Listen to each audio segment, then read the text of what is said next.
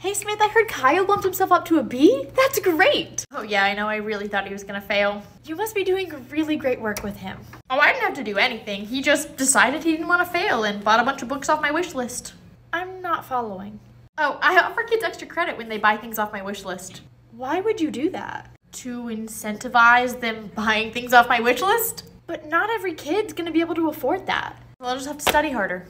That sounds really unfair. Seriously though, who's it hurting? I get what I want, the kids and their parents get what they want. It's a win for everybody. Except for the kids that can't afford it. And what about the kids next year when they don't have that option?